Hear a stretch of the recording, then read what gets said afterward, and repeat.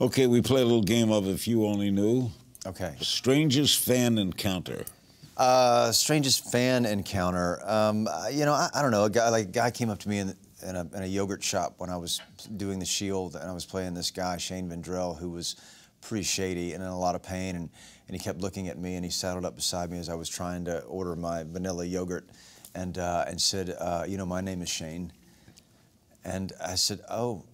He said, "Well, you play Shane," and I said, "Yeah." I, and he said, "I'm a lot like you. I think we should hang out." And I, I, don't think I'm anything like you, man. And I don't think we should hang out. Biggest splurge? Art.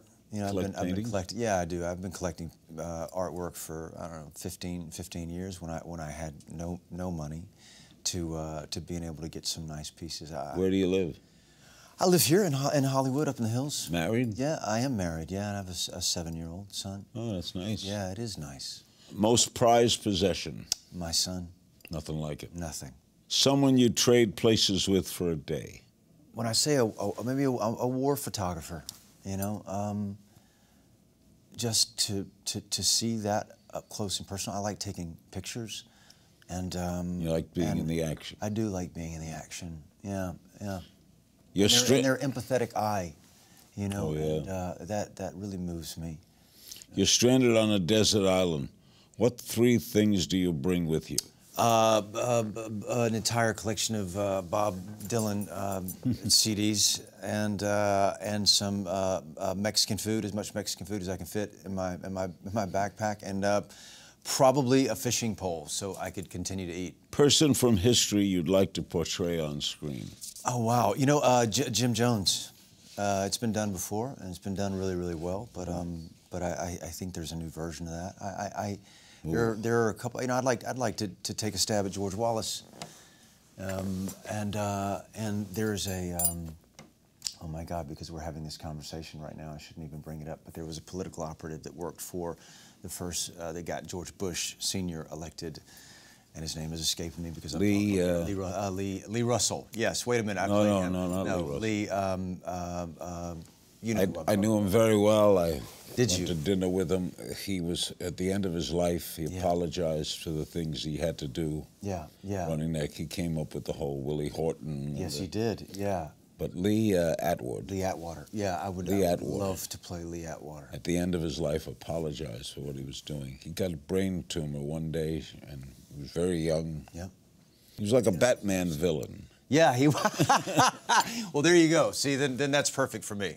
Best piece of best piece of advice you ever received. Uh, probably when you're cutting something to put the blade away from you.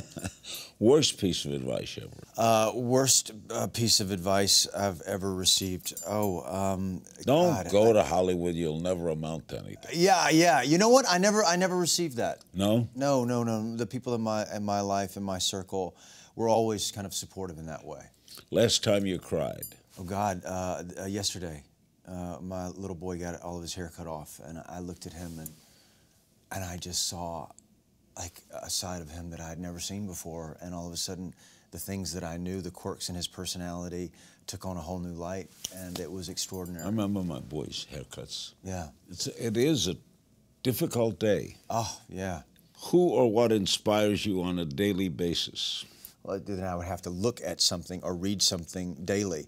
Um, so outside of my my, my child, right, uh, which would be number one, I, I think it's it's um, uh, music, musicians, you know, listening to music. Place we find you on a day off. On a hike or at the at the gym, doing some kind of uh, exercise. But if I if I if I am on location, uh, then you would find me with my camera. If not acting, then what? Photography. Or no, you know what? You know what? No, if I if not acting for me, if I had my, if I could do anything, I would I would have a travel show. Yeah, I would. I would have a. I, I enjoy it immensely. I enjoy uh, walking in, in places that I've never been before and meeting people that I've never seen and met before and talking to them. So I, I would do that. Is there a role you regret turning down?